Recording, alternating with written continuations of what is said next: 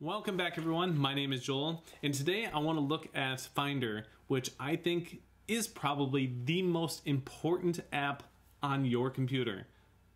Yeah, yeah, I think that.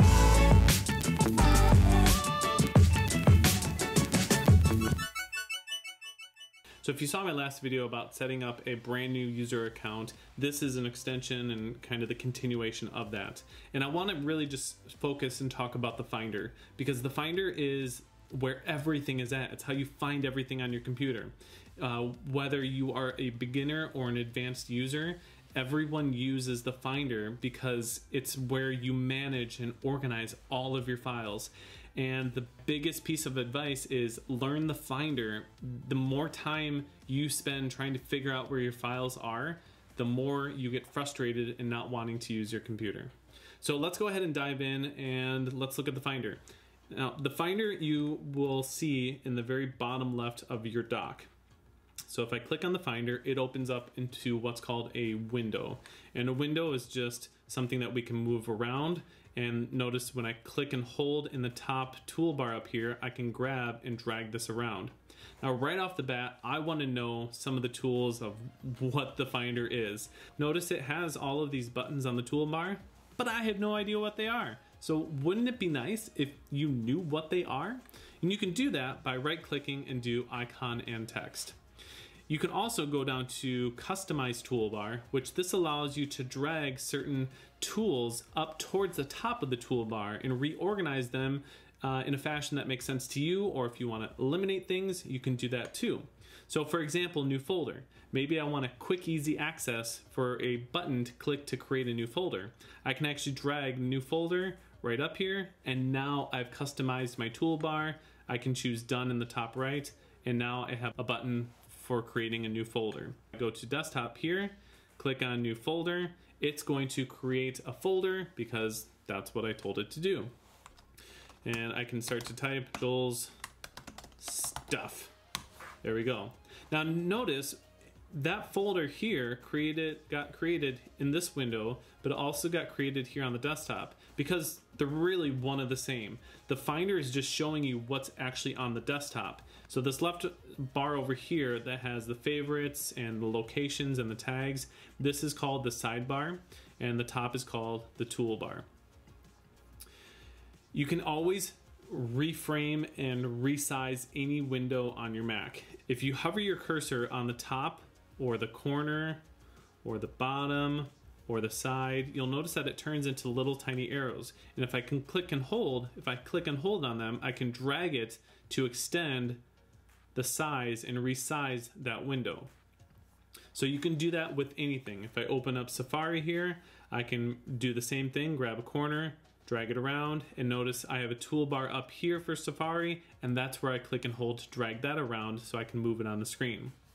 Now I'm going to go ahead and go up to the menu bar and do Safari, quit Safari, and head back to Finder. Now some of the other settings that I like to change are some of the preferences for Finder.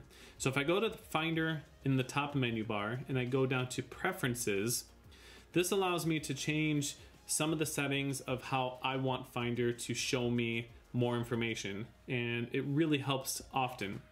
So when I go in here, I have general, I have tags, sidebar, and advanced. If we go to general, this says, hey, show me these items on the desktop.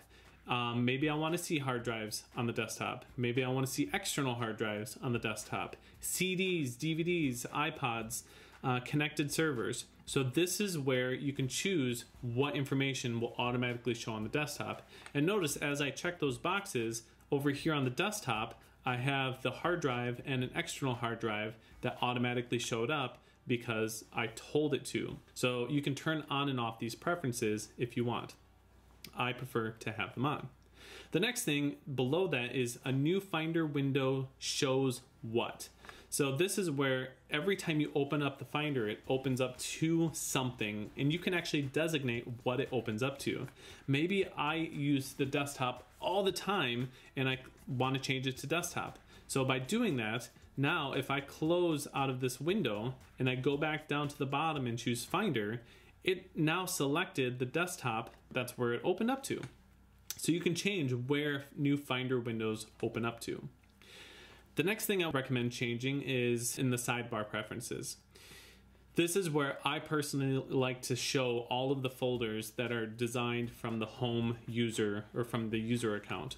So if you watch my other video when we created a user account when we first got our Mac, it creates a user account and, and as doesn't matter how many user accounts you create on a Mac, uh, the user accounts always have the same pre-created folders for you.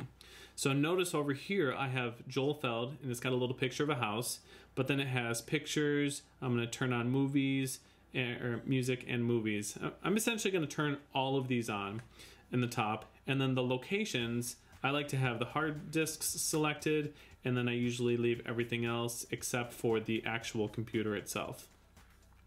And what that does now, if I go back to the Finder window, I have those categories marked as favorites over here on the left hand side. And I can click and hold and drag these in any order that I want for preference.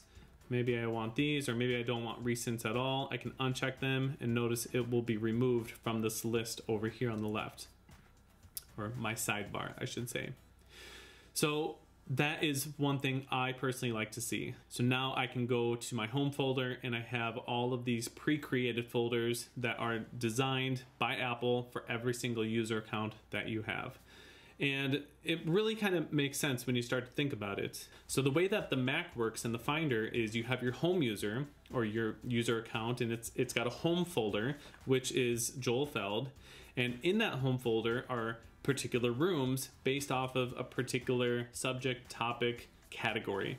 So every single Mac user that you create on a on a Mac has the same exact file structure. So it's got the desktop, it's got the documents, downloads, movies, music, pictures, and a public folder. And of course, you can put whatever you want in here. If I want to create a new folder and do awesome things are put in here, I can do that as well. So it's just the, the, a recommendation to get you started to organize your files. Now, it also makes sense to put things where they belong. So if you're into photography and you do a lot of stuff with photos, well, it doesn't really make sense to put photos in the music folder because pictures aren't music. You know, put the music files in the music folder where they belong. But let's continue with some of the settings that I recommend changing within the Finder. If we go on to the Advanced tab, here are an, a few additional options that you can choose or turn off. Um, show all file extension names. I usually have that off personal preference, but all of these by default, I typically keep the way that they are. So really it's the ones in general that I change and the ones that are in the sidebar that I change. Now I'm gonna go ahead and close out of that. Now the next thing I'm going to do is go up to view in the top menu bar and I'm going to go down to show view options and this allows you to change the view options based off of the files that you're looking at right now. Over here on the left hand side you can change things like the icon size.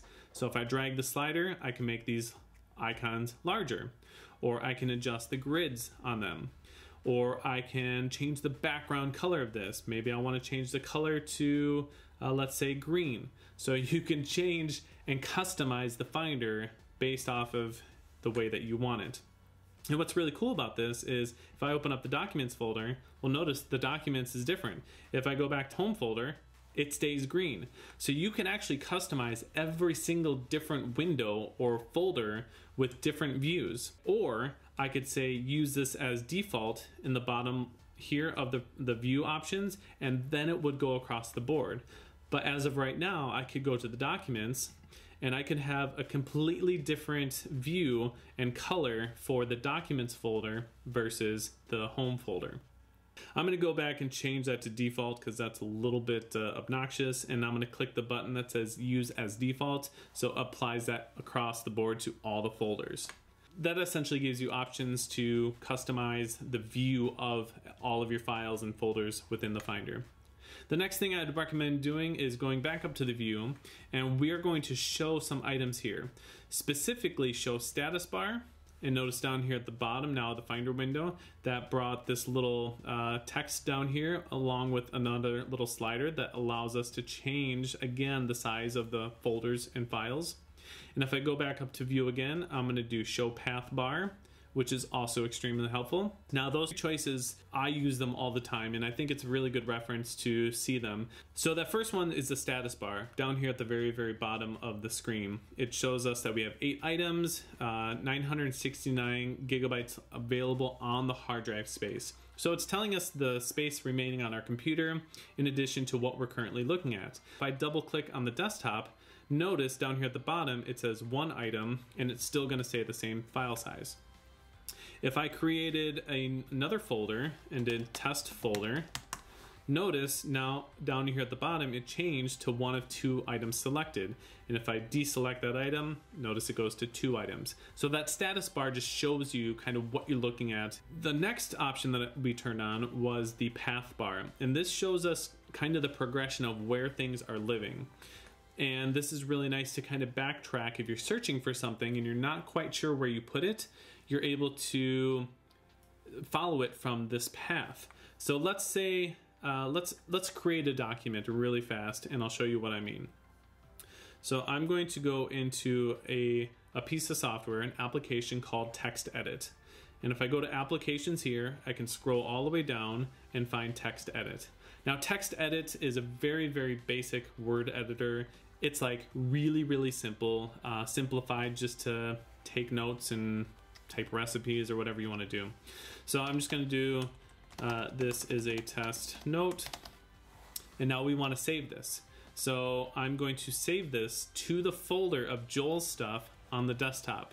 So how do we do that? Well, we go back into text edit and I can go to the file menu and do save and it's going to say, okay, where do you, what do you want to call it and where do you want to put it? So I'm going to say Joel's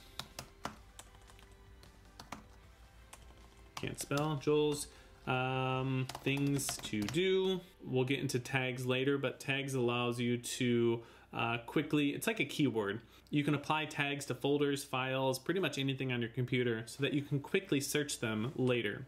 I'm not going to do that for this, so we're just going to ignore that. And then it asks me where I'm going to put it. Well, the folder is over here on the desktop called Joel Stuff. But if I click on this window here, I see documents, Joel Feld, users, the hard drive. I don't see that folder in this list here. Well, the reason I don't see that folder is because I need to expand and see the whole entire Finder. So if I click on this little arrow, downward arrow to the right of here, notice what pops up. This kind of looks familiar, doesn't it? It's the same exact window as the Finder. So that's why the Finder is so important. If I go over here on the sidebar, I have home folder, and again, my desktop lives in my home folder, so I can go to desktop, and here's that folder right here. So now if I choose to save it to that location, it's going to put that file directly in that Joel's stuff folder. And if I double click on this folder here, it's gonna open up a new window, and here is that folder that or that file that we just created. So I'm done with text edit. I'm gonna go back to it and choose text edit and quit text edit.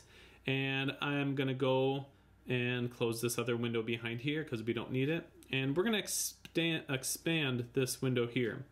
So notice down here at the bottom, this path bar, this path reference that I was talking about. So it's saying, hey, this file lives in Joel's stuff, which lives on the desktop, which lives in the home folder, which lives in the users folder, which lives on this Macintosh hard drive. It's showing you that progression of where things are at on your computer at a quick glance right in the Finder itself. Now let's go back and I'm to just quickly show you the different views of the Finder. And to represent that, because remember this is a brand new machine, so I don't have really any files on here, but if we go to the application folder, this will give you a good example of the different views that you have. So across the top in the toolbar, you have four different views. You have icon view of what we're viewing right now.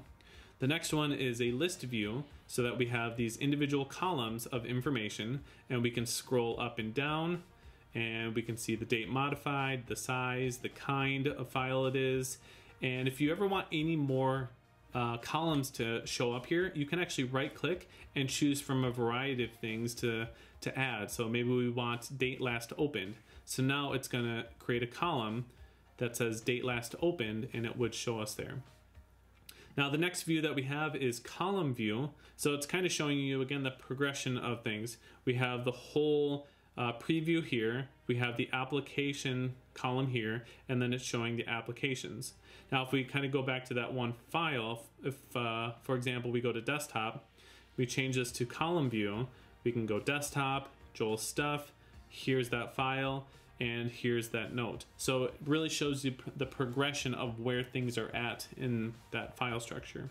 So the last view is called gallery view, and this kind of just shows down at the bottom all of the different icons in there and then shows you a giant one in the center. My personal preference, I don't use this. I mean, I just, it's very clumsy. Um, it's pretty, sure, and I can use the arrows to go from one thing to the next, but realistically, when you're trying to find things, the icon view, the list view, the column view is much more manageable, way easier to find, and just makes life much, much easier.